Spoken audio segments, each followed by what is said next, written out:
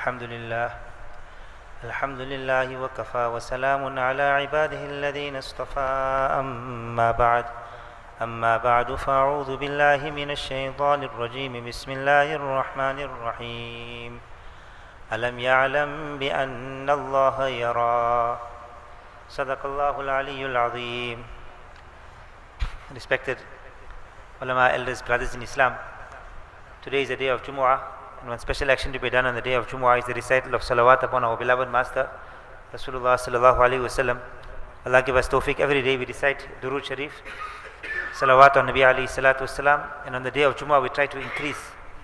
And Akabir mentioned, our elders mentioned, we try to read a thousand times salawat on Nabi alayhi salatu wasalam and they've got great hope and umeed that before a person leaves this world, Allah subhanahu wa ta'ala will show him his place in Jannah reading a thousand times salawat Nabi alayhi salatu wasalam. Actually, there's one amal also. Somebody asked Hazrat Shaykh al Hadith, Maulana Muhammad Zakaria rahmatullah alayh, I want to go for Umrah. Is there any amal to recite? Allah can open up ways for us to go for Umrah. So he said, one very simple way is you recite in one place every day for a year. And you read a thousand times Durood Sharif in one sitting. One thousand times Durood in one sitting. And for one year you carry on. And inshallah within that year, Allah Ta'ala will take a person for Umrah. So that person he tried it out and Alhamdulillah he was successful. He went for Umrah. And the person who heard it, he also made amal upon it. He also Allah Ta'ala took him for Umrah in within that year. So this thousand times Durood Sharif, Salawat on Nabi alayhi salam, and every Friday we try and read. Inshallah, a person will leave this world with Iman. And not only that, inshallah, he'll leave this world with shauq and desire for the year after. Allah give us tawfiq, inshallah. The ayat of the Quran Kareem which I have recited, Allah subhanahu wa ta'ala is telling us one very important part of our iman that alam ya'lam bi anna Allah yara. Don't you know Allah is watching you? Don't you know Allah is watching you? This quality was found to a great extent in the hearts of Sahaba radiallahu anhum that every moment that Allah was watching them. In the Quran Kareem, in many places, Allah subhanahu wa ta'ala mentions this aqidah, this belief. Alimul ghaybi wa shahadatil kabirul muta'al. Allah has knowledge of the unseen and what we can see. سواء منكم من أسر القول ومن جهر به ومن هو مستخف بالليل وسارب بالنهار It is exactly equal in the sight of Allah subhanahu wa ta'ala. Those who speak quietly and those who speak loudly. If I'm speaking loudly for me and you, if I'm speaking quietly to you and loudly to you, there's a difference. The person who is speaking quietly you can't hear so well. One who is speaking loudly you can hear. Allah says for him it's exactly equal. We speak softly or loud. The person who got it in his heart and is thinking of something, certain thoughts in his mind, and a person is expressing it for Allah, this is completely exactly the same. وَمَنْ هُوَ سَارِبٌ مُسْتَخْفٍ بِاللَّيْلِ وَسَارِبٌ مِنْ نَهَارٍ equal, equal for Allah subhanahu wa ta'ala, a person in the night, darkness of the night, no one is watching him, and he's doing a certain action, and that person who openly walking in the, is walking outside in the brightness of the day and is doing an action, for Allah this is completely equal. Allah has full knowledge of it. So anyhow, these ayats of the Quranic Kareem had come down to such an extent, some Sahaba radiallahu actually felt shy to go and relieve themselves. When they used to go to have a shower, they used to cover their whole bodies. They were frightened to remove their clothing. They felt shy that Allah subhanahu wa ta'ala is watching them at every moment. Allah subhanahu wa ta'ala, because the Sahaba radiallahu were to be examples for the whole of mankind till the day of Qiyamah. So Allah ta'ala had to correct this, this view and this belief of Sahaba radiallahu so it won't become difficult for people thereafter. So Allah sent ayats of the Quran Kareem down that you cannot make ghuluw, you cannot exceed the bounds in deen. Allah Ta'ala said, Allah innahum yathnuna sudurahum liyastaghfu min. They are trying to cover themselves so they can hide from Allah subhanahu wa ta'ala. Allah says, remember the time when they are covering themselves with their clothing. يَعْلَمُ مَا يُسِرُّونَ وَمَا يُعْلِنُونَ Allah knows what's outward and what you are hiding inside. Everything is equal to Allah subhanahu wa ta'ala. And never mind this. إِنَّهُ عَلِيمٌ بِذَاتِ السُّدُورِ Allah has even got knowledge of what is hidden in the depths of your heart. The thoughts which are going through your mind, Allah is fully aware of this. So it just shows the level the Sahaba radiallahu anhum had, this, this thought in their mind that every moment Allah is watching me. And really this is a quality as a Muslim we have to bring this. Nabi alayhi salatu in one hadith said, Afdalul iman, the most virtuous level of iman is an ta'lama, you must know that Allah subhanahu wa ta'ala is with you wherever you may be. Whatever you are doing, Allah is with me. Allah is watching me. Allah knows my every action. So this is the quality of a person of iman. I'm in my shop, I cannot cheat somebody because Allah is watching me. I'm sitting and looking at my cell phone. I cannot look at haram because Allah is watching me. Everything in my life, a believer got this that Allah subhanahu wa ta'ala is watching me. If my wife is sitting next to me now, I won't go on that evil websites because I know my wife is watching me. But the minute she falls asleep, if I'm going on it, it shows my iman is still very deficient. That I haven't got this yaqeen and conviction. We all know, mashallah, as Muslims, Allah is watching us. But to bring this reality into our hearts. Hazrat Abdullah ibn Umar radiallahu anhu, the great Sahabi, he's traveling on a, through the desert with his companions. Extremely hot day. And they pass by one shepherd. And this shepherd, uh, they called him for meals, come and join us for meals. So he said, No, I'm fasting. Abdullah ibn Umar radiallahu anhu was surprised. He said, It's not the month of Ramadan. It's an extremely hot day. In the middle of the desert, you are fasting. What's the reason for this? He said, I'm preparing for the day. Kulu washrabu hani bima aslaftum fil ayyamil khaliya.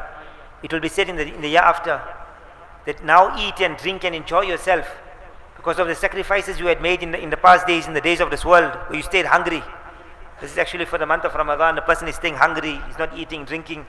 He's going to get great rewards in the year after. He stays hungry in this world, Allah will feed him in the year after. So he said, I'm preparing for that day. I'm actually keeping nafal rozas, nafal fast. So Abdullah ibn Umar radiallahu was surprised that in the middle of the desert, and this man, he is making such sacrifices. He said, let me test his iman. So he told him, see, you're a shepherd, you're a poor person, you're a slave of somebody, you're looking after these goats. Why don't you give us one of these goats? We'll purchase it from you. We'll pay you the money. Then at the end of the day, you got some money, you can buy whatever you want to. No one will know. And we'll cut the animal. We'll give you some kilos of meat also you can eat from here. And then we'll also benefit. You'll benefit. And your master, he doesn't know. You got 100, 200 sheep here, goats here. Where, where he'll know where one goes missing. You just tell him one wolf came and ate it up. And it don't make any difference. So first when he told him, he said, no, I can't do this. I am the slave and my master, he will count his animals. So Abdullah ibn Umar said, no, don't worry about him. He's a rich man. One goat won't make a difference. So come and let's make this deal. So this person immediately said, Fa'ain Allah, Fa'ain Allah. Then where's Allah gone to? Isn't Allah watching me? Doesn't Allah know what I am doing?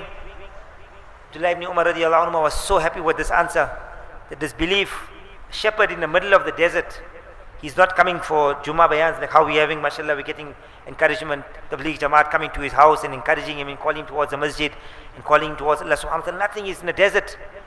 But he's in the time of Nabi alayhi salatu wasalam, in time of Sahaba radiallahu anhum. What iman was in his heart? One village, a village dweller, person in a, in a, a desert dweller. But what iman he had? Immediately Abdullah ibn Umar radiallahu anhu goes to the market, uh, to the boss the, the master and he says, I want to buy the slave of yours. He buys the slave, he buys all of the goats. And then he tells this youngster that because of your iman, I'm freeing you for the pleasure of Allah. And all of these animals are also yours. I'm giving them to you. And he gives them everything to this person. And he freed him.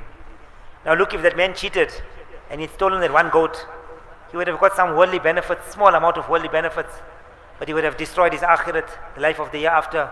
In this worldly life, he would have been disgraced, embarrassed. But he had iman and he knew my Allah is watching me and I cannot cheat, I cannot deceive.